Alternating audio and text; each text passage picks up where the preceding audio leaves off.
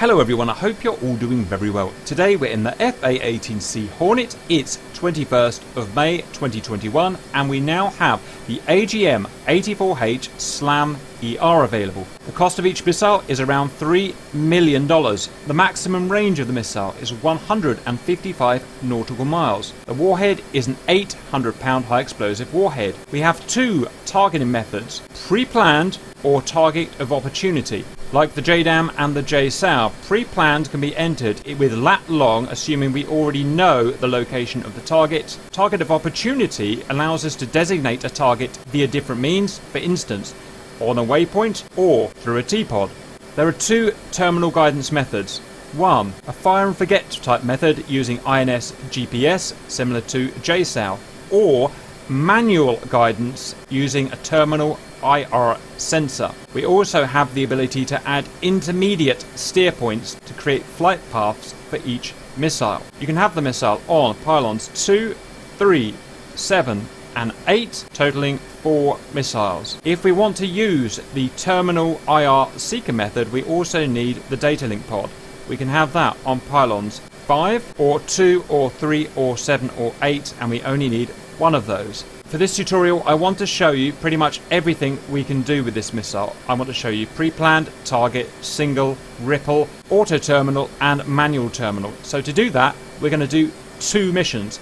The first mission is a pre-planned direct to target with INS GPS terminal phase with a single missile shot at maximum range of missile. The second mission will be target of opportunity firing designated via waypoint, adding in steer points to the flight path of the missile, using Datalink IR manual terminal guidance with a Ripple firing two missiles at a range of around 70 nautical miles. Let's fly the first mission. We are armed with one SLAM ER. Our target is about 160 miles away at this airbase here. It is a static target of a known location. It's going to be this building here. We need to know the lat long of this building here. Please look at the top left of the screen. You will see the MGRS coordinates. Press left alt and Yankee to cycle to 8 digit decimal seconds. There is northern easting 8 digit decimal seconds including elevation above mean sea level in feet at the end. I'm going to write that number down now on my knee board. So master arm on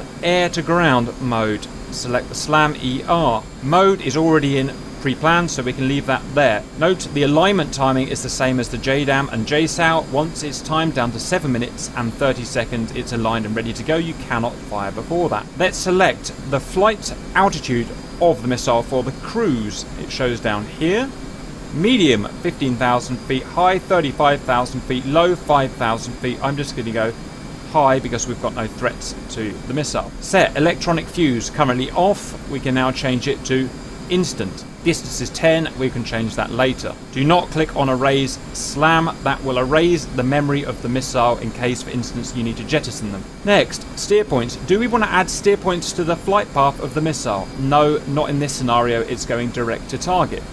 Step allows us to step through different stations, irrelevant as we only have one station. Next, I'm going to fast forward just to show you what it looks like when it's aligned and ready to go. 730, SLAM ER is aligned and ready there, and ready there. Next, SLAM display. So from here, we're going to set the release type to be manual. It should be defaulted as manual anyway, but just to double check.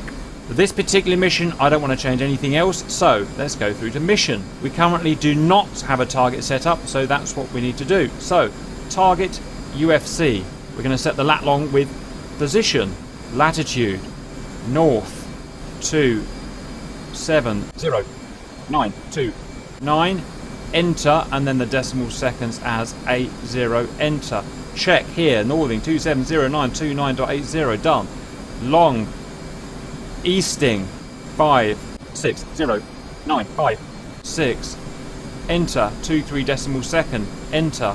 Check. Five, six, zero, nine, five, six, two, three. We now need to change the altitude, so I'm going to go back into their elevation. Meters or feet. Feet 51 above mean sea level. Enter. All good there. We know that we've got a valid target because PP1 here has unlocked. One more thing to show is that like JDAM or a JSOW, we have terminal properties for the missile as well. I'm not going to do them here, but we can decide which heading we, the missile will attack the target from to avoid a building, for instance.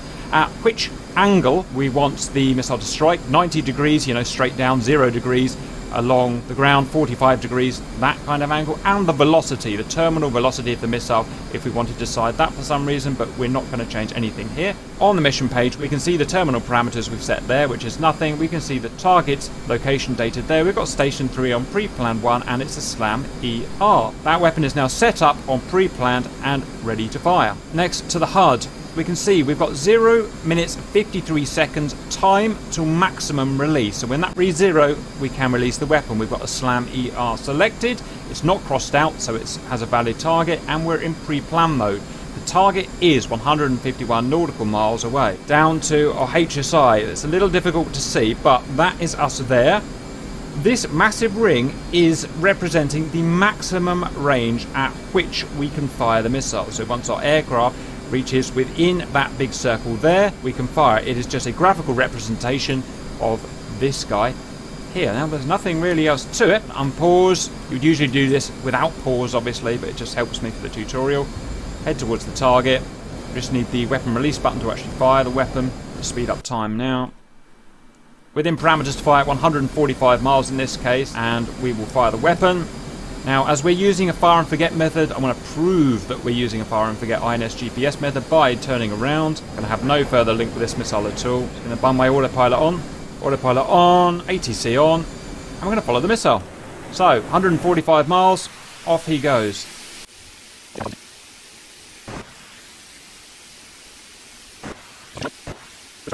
What a long range missile, that's ridiculous. And there's our building, there's our ZAC building, look. Zap, zap, zap. To the nearest three feet, I think it is.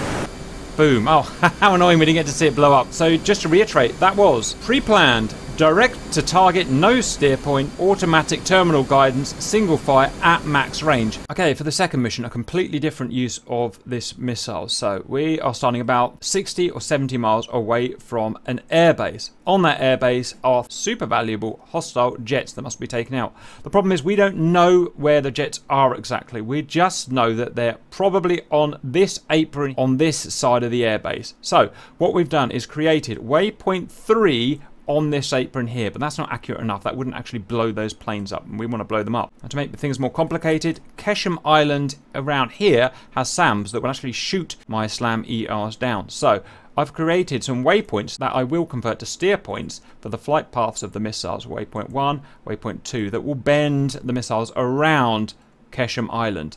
As well as that, I want to take out at least two of those planes, so I'm going to fire two missiles and we're going to control them manually at the terminal phase so that we can obviously find where the aeroplanes are parked. We're going to go master arm on, air to ground, start the alignment of the SLAM ER. This time we obviously need the data link pod, so engage the data link pod. We're going to designate our target, which is waypoint 3, HSI, waypoint 3, waypoint designate we have station 7 there and station 3 there. So station 7 is currently selected. We can set the missile up while it's aligning by the way.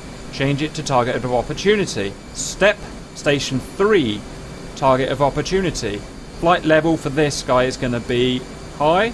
Step back to station 7. Let's make it high. No reason to do that, I just want to. Step back to station 3 in this case. Set the electronic fuse up for all stations by clicking this to instant. Make sure you don't erase it. Next, we're going to link our data link pod to one of the weapons initially. So weapon, station 2, station 3, station 7, station 8. So let's say station 3 first of all. Note, we've got our TMR here. It just so happens that we're in range of the missile because we're much closer this time and our TTS here, our time in seconds until it initiates its terminal phase or its terminal sensor. Next, we need to set up the steer points to create the flight paths for the missile. So, with station 3 selected here, select steer point. Currently, it has no steer points within its flight flight path, it just has an end location. Well, let's add steer point 1. Things we can add in to that steer point are velocity, location via waypoint, location via lat long, altitude, or we could delete this steer point. Waypoint to make it easy, waypoint 1. Enter. Another steer point to be created, a waypoint, waypoint 2. Done. That missile will now go from waypoint 1 to waypoint 2 and then hit waypoint 3. Do the same thing with station 7. Steer point 1, waypoint 1, enter. Steer point 2, waypoint 2, enter. So it's much easier with this TOO method via waypoints. Reporting back, and our weapons are aligned. I'm going to put myself back to station 3 so I know which one I'm going to be launching first. Next, to SLAM display. This time I want to set up the distance from the target in nautical miles at which the missile will engage its IR seeker. I'm going to go to UFC here. I'm going to type distance, press distance, type in the amount of nautical miles I want from the target at which point will engage the seeker. I don't know, 9 miles. I'm going to step to station 7 and do that as well. 9 miles. Enter. Step back to station 3. Next, release type, make sure it's on manual. And it is. Next, mission. Review the data. Station 3 is TOO1. It's a SLAM ER. It's at waypoint 3. We haven't set any terminal parameters and it wouldn't be relevant anyway because we're going to be taking control of the missile. That missile is ready to fire. Double check the HUD. It's in range. It's a SLAM ER and its target of opportunity 66 miles and the missile is missile away. What we actually want to do once he's about 30 seconds away is fire another missile. So engage station 7 check the data the data is good and fire the second missile. Now usually you would not be paused and you would cruise at a distance and an attitude or a direction that would allow you to keep contact with these missiles. We're going to need radio contact via the data link pod. In terms of range, there doesn't seem to be a maximum range of the data link pod. It appears to be line of sight, which means that we need to keep high enough so that we can see over the horizon to still make contact with the missile. And I've got no way of telling you exactly what that distance is. You guys are going to have to work it out by a bit of logic. Next, we need to make contact with the missile. So, in our right DDI, main menu, data link 13 display, this is how we're going to communicate with the missile at the terminal phase.